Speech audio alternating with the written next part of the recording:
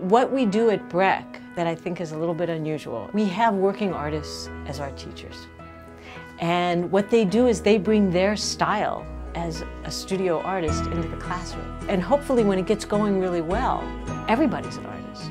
I'd always had this class before do a life-size self-portrait. Self-portraiture is a very traditional genre. I mean, I think as long as people have drawn, there's been this sense of, well, who am I?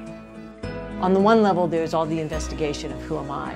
On another level, as an artist, who are you with that never abandons you? Who's going to sit? Normally, I don't like drawing myself, but the more you do it, the more comfortable you become with it. It just makes you more comfortable as an artist as well. We start with little kids. You can do this. You can look at yourself. And they might feel like they don't have the confidence, but if you can help them figure out how to look, that's really what it is. It's how to open up their eyes. And they see really well.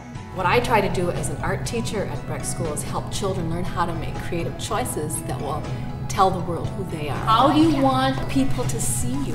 How do you make something alive? How does it read so that there's, there's a character in there? And a character that has something to say to someone else in the world. Breck is a really exceptional place. If you walk into this art department here, it's alive, it's a studio. But you go into the science lab, they're thinking like scientists.